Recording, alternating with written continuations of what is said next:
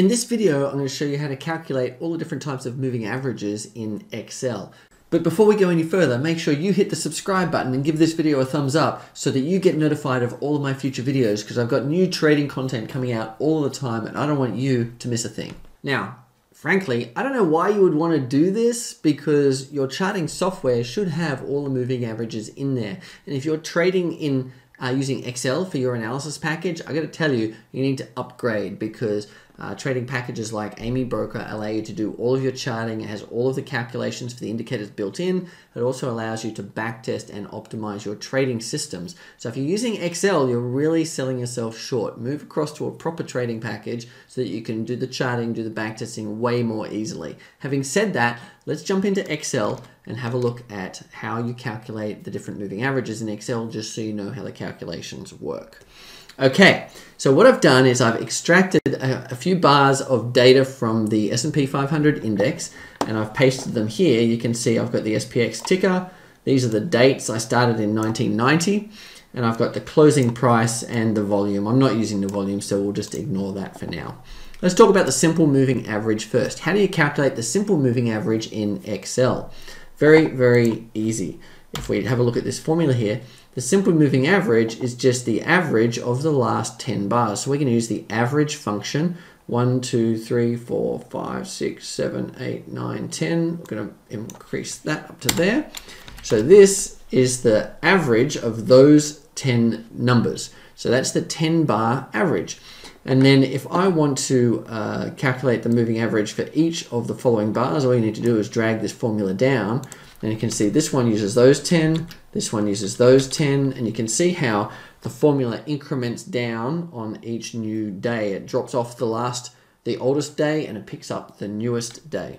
So this is how the simple moving average formula works. You can see it's moving those 10 bars down, down, down, for each new bar of data. And the moving average does use the current day. So today's moving average uses today's closing price. So you can only calculate today's moving average after the market closes. Okay, so that's the simple moving average. Let's have a look at the exponential moving average. Exponential moving average is more complicated. So here's the formula here in Excel. Um, so I'm to just uh, see if I can zoom in, make this a bit bigger for you. Let's have a look at the formula. So the formula is the current price times 2 divided by n plus 1, where n is the number of bars in the moving average. So closing price times 2 divided by n plus 1 plus the previous day's value of the exponential moving average times 1 minus 2 over n plus 1. We saw this formula in a previous video. If you want to know how to, um, if you want to understand that formula better, watch this video where I explain the formulas for each of the different moving averages. But here, this is how you do it in Excel. So you can see it's the current price times 2 divided by um, n plus 1 plus the previous value of the exponential moving average times 1 minus 2 times uh, 2 divided by n plus 1. There's the formula. And then if we drag this down, it'll just continue to calculate. So you can see that each day it refers to the new closing price and then the new um, previous value of the exponential moving average.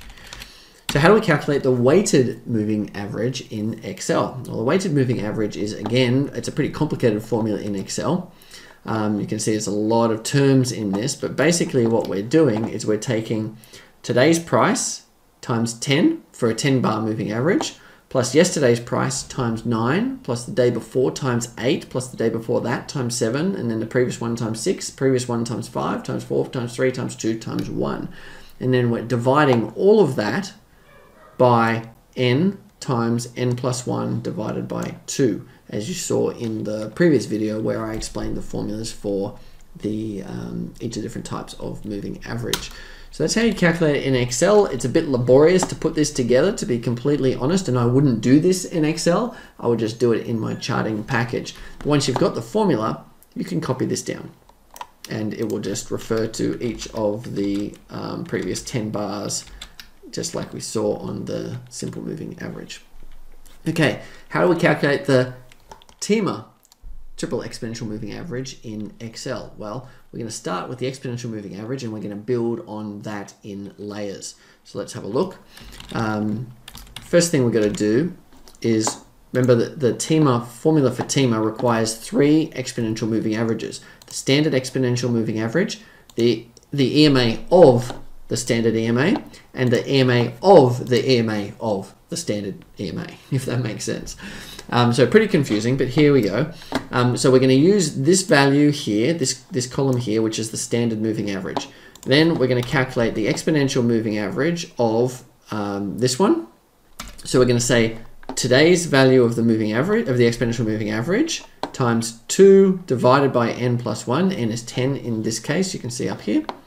Then we're going to add to that the previous day's value of the um, EMA2, um, the second EMA rather, and multiply that by 1 minus 2 divided by n plus 1, just like the formula we explained in the previous, um, in the previous video. And so that's the second EMA that you need to calculate TEMA. The third EMA is exactly the same thing, and to make the same correction here. Um, exactly the same formula, but applied to the second EMA. So the third EMA takes the value of the second EMA, times it by the same ratio, adds the previous day's value of that, times it by this same ratio you saw in the previous calculation. And then TEMA is a combination of this, this, and this. So it's the triple exponential moving average. It, it takes into account all three, right? So here's the formula. It's three times the standard EMA minus three times the, the second EMA that we calculated plus the third EMA that we calculated. And there's the value for TEMA. And then we can just drag this down and Excel will continue to calculate it. So as you can see, you can calculate all the different moving averages in Excel. But again, I'd encourage you, if you're using Excel for your technical analysis, it's time to move over to a proper charting and backtesting platform because Excel, while yes, it can do it, it's not designed for this sort of calculation. Whereas trading software like AmiBroker really is designed to calculate long time series of indicators, to combine them into trading systems and to use it. So um, have a think about that if you're still using Excel uh, in your analysis. And if you want to know how to really use moving averages in your trading systems, then you need to watch this video because in this video, I explain all the different ways of using moving averages in your trading strategies. So if you haven't yet been able to apply moving averages or you want to come have, have some new ideas on how to use moving averages in your trading strategy, this is a video you need to watch next.